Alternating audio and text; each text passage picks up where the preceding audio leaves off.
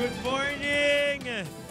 Good morning dyan sa studio at naembaga bigat para sa inyo. Mga kapuso, that's good morning in Ilocano. Rock na rock talaga mga kapuso ang magiging umaga natin dahil nandito tayo sa Agno, Pangasinan at we are celebrating Umbrella Rock Festival at syempre mukhang nag-enjoy si Ash dito. Yes, tama ka dyan. Wajo, nag-enjoy ba kayo? Yes! Yan, nag-enjoy na lahat ng mga dito sa likod namin. Naku. Wajo, alam mo ba, kakaiba tong lugar na pinuntahan natin. Hmm. Dahil kahit summer ngayon na tirik na tirik yung araw, balita ko, hindi daw nangingitim yung mga tao. Dahil meron silang higanting payong na pwedeng silungan. Ayan At ang siya. tawag nila doon ay ang Umbrella Rock. Halika, Ash, puntahan Halika, natin. puntahan natin. Pero mamaya Ash, pupuntahan pa natin yan. Sa bandang likod Oo, pa, marami pa explore doon. natin. At syempre, hindi lang yan ang inaabangan ng mga kapuso natin dahil mamaya ibibida sa atin ng mga taga dito ang kanilang mga famous, very famous seafood. Wow! Ayan. Sarap! Yan mga kapuso, lahat yan aabangan nyo this morning sa inyong pabansang morning show kung saan love ko ang summer unang, Unang hirit!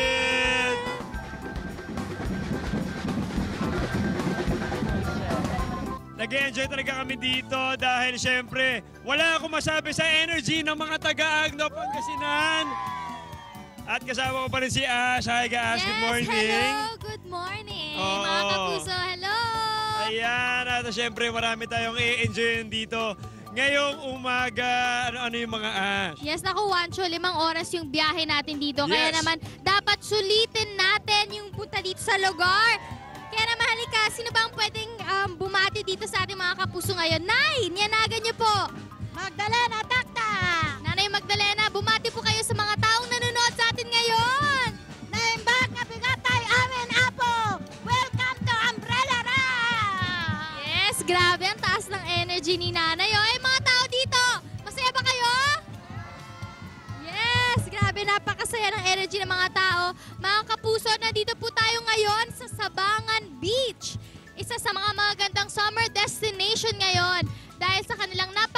napakalinis na tubig. Pero ngayon nga mga kapuso, low tide ngayon. Pero mamaya tataas din, tataas din siya. Maliban doon ang kanilang buhangin.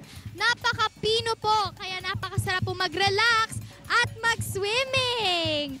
Pero mali, Diyos ko, mga, ano, okay pa ba kayo dyan? Kapag fiesta talaga mga kapuso, iba't iba talaga ang binibida nila, no? Yung iba yung pagkain nila, yung iba yung produkto, yung iba yung kilalang tao. Pero dito sa lugar na to, kapag fiesta, ang kanilang bida ay ang ganda ng kalikasan. Pero ang kakaiba talaga sa lugar na to, ang kanilang, ang kanilang, ano talaga ang kakaiba dito, ang kaniyong? Ang aming umbrella rock! Yes, ang kanilang umbrella rocks formation na talagang itinuturing kalikasan. Pero teka, na, nasaan si Wancho? Ay nako si Wancho, nang iwan na naman. Iniwan niya na nga ako dati. Hanggang ngayon, iniwan niya pa rin ako dito. Nasaan ka ba, Wancho? Di mo man lang sinama dyan. Ay, nako. Hindi totoo yan. Anyway, nandito nga ako sa binibida na kanilang festival, ang mga Umbrella Rocks. Kitang-kita nyo naman nakakamangha talaga mga kapuso. At Umbrella Rocks dahil nagsisilbi din siyang ah, silong ah, sa mga turista at sa mga locals na pupunta dito at nais umiwas sa tirik na tirik na araw. Kitang-kita nyo naman mga kapuso, napakaganda at napaka amazing ng mga rocks yan. At syempre, I'm sure nagtatanong kayo kung bakit naging ganito ang formation ng mga rocks yan. Ang sagot dyan ay walang iba kung hindi ang kalikasan din po ang naghugis niyan dahil within centuries, tumatama po ang mga tidal waves sa mga batong yan. Kaya naging ganyan ang mga hugis ng mga batong at napakaganda talaga mga kapuso. Hindi po ako nag exage napakaganda po talaga mga kapuso. Anyway, hindi lang syempre ang mga rocks na ito ang ah, pinupunta at tinadayo dito sa Agno, Pangasinan, kung hindi ang kanilang napakapayapa at ah, hindi crowded na beach na mamaya papasyalan namin ni Ashley. Pero mamaya, habang ako- ako'y naghihintay na maging ready si Ash, kakain muna si Ashley dyan. Ashley, ano ba yung mga masarap na pagkain dito sa Agno, Pangasinan? O sige, Wancho, dyan ka muna. Mag-enjoy ka muna dyan. Habang dito ako ngayon, nako, ang dami kong pagkain nakikita. Puro seafood. At pangalan niyo po? Risa Gaton po. Nako, ano ang um, ipapakita niyo sa amin ngayon? Anong lulutuin mo? Mukhang napakasarap nitong nakikita kong pusit. Ang lulutuin po natin ay pusit gisado sa gata.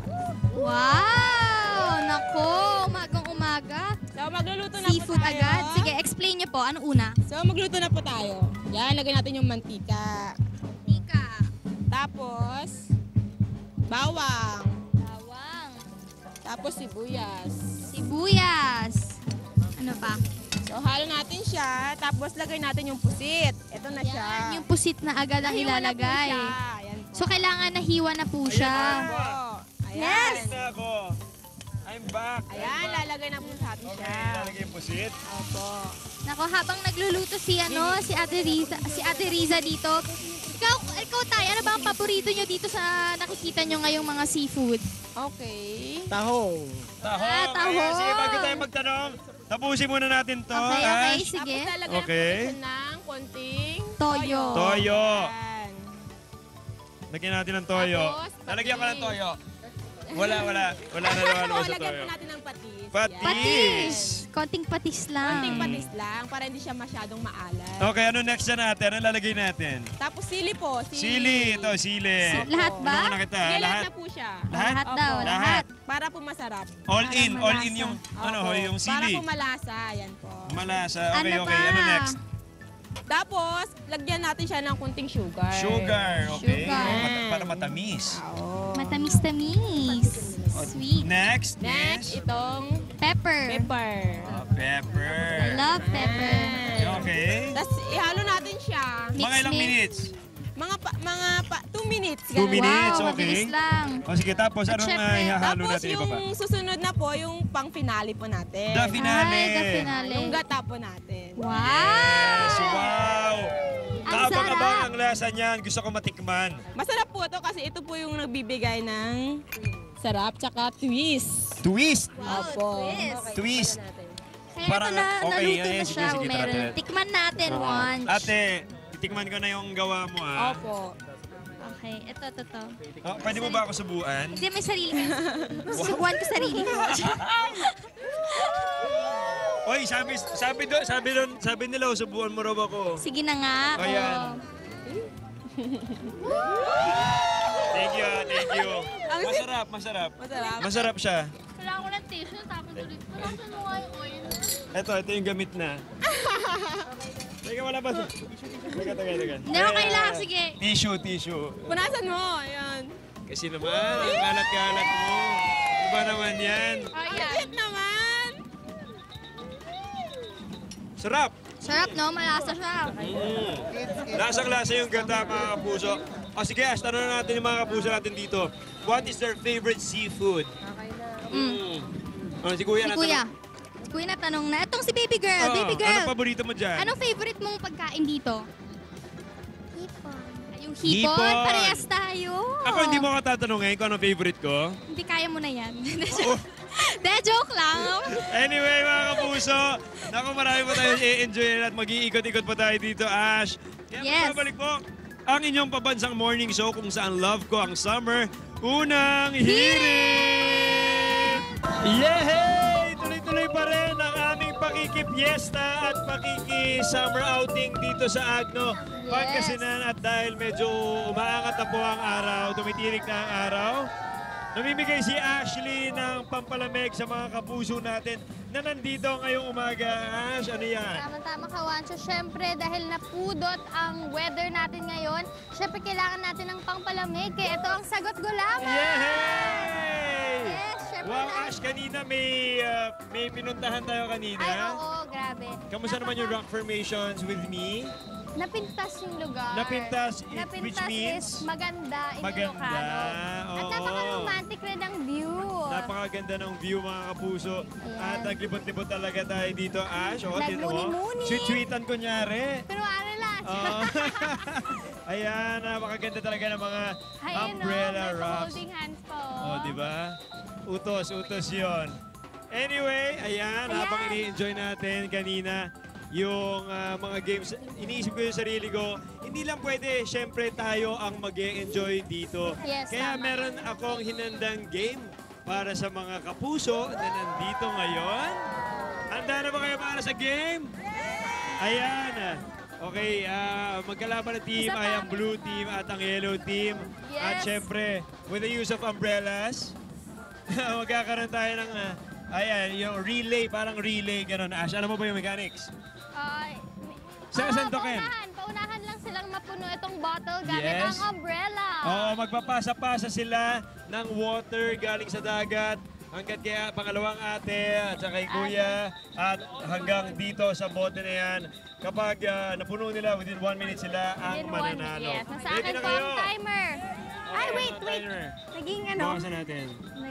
Oo, gusto mo lang hawakan ng kamay ko eh. Kala. Oo.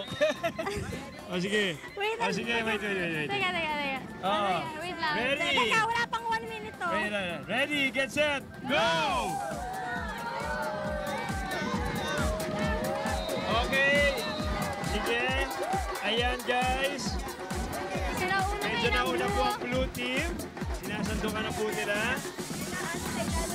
Pero si, ang Si Mami slowly team, but surely naglalagay ng tubig mula sa bote. yan, medyo marami silang nalagay. May iba ang ah, ano nila, ang strategy nila. Ang blue team medyo mabilis nga pero konti ang nalalagay nila. Si Nanay Ayan. talagang dahan-dahan para... Konti na lang guys. Go na Mami! Para mauna po ang yellow team. Oh, last last 20 seconds. Go, Nanay! Ayan na. Konti na lang, konti na lang. Konti na lang, Nay. Si Mami mapupuno na. 10, 9, 8, 7, 6, 5, 4, 3, 2, 1. Tapo! Sakto! Saktong-sakto, buzzer beater. Yay! Ayan, dahil kayo ang nanalo. Meron May prizes kayo. prizes! Congratulations, halika, Ate Tara Leila, at Ate mag-celebrate tayo. Miriam. Meron kayong prizes. Ano masasabi niyo sa unang hirit? Maraming salamat po sa unang hirit. At syempre, may consolation prizes rin ang Blue Team. Congratulations! Yay! Sa studio, nako, may, may game rin daw sa studio. Ano yung game na yan?